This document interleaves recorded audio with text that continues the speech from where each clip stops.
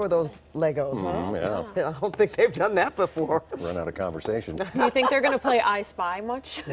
Wonder about that. Maybe so, Jackie. That's good. All right. Well, I am spying some marine layer and some cooler temperatures moving in. So, Okay. yeah, so that's great news because uh, I know folks have had great weather at the coast, but everywhere else it has been hot, it has been humid, and it is finally going to start to cool down some. uh, No matter where you are, you can enjoy some nice weather as we head into the end of the week and the weekend. Look at all the folks, kind of jealous. They're all enjoying the beach there in Santa Monica and at the pier where it is just lovely out there. Plenty of sunshine today, and we will see the return of the marine layer tonight, not only at the coast, but it will be spreading all the way inland, and that's a sign of a change to come. But temperatures today also much cooler than they've been. Finally, closer to normal downtown. We had a high today of 82. 81 is our normal high.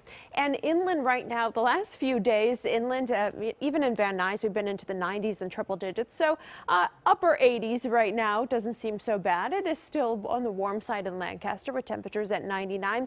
And along the coast, temperatures are into the upper 60s to low 70s. Just know it is going to be breezy over the next few days, but that'll actually make it feel very comfortable outside. Should be below advisory level winds. You can see the marine layer hugging the coast right now.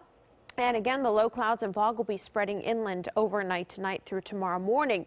The monsoonal moisture and the instability stayed just off to our east today. So we saw plenty of showers and thunderstorms, but again, it did not work its way into our area. So it was a pretty quiet day, and it's going to get even quieter as this ridge of high pressure continues to move out to the east.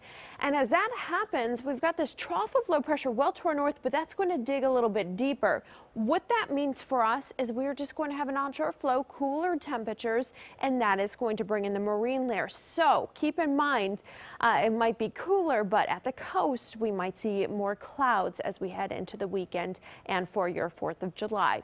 So clouds and fog spreading inland overnight tonight.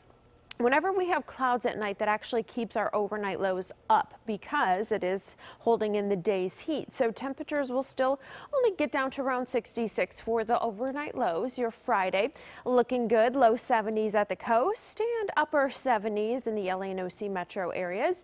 Upper 80s inland and in the valleys Friday into Saturday, but Sunday into your 4th of July.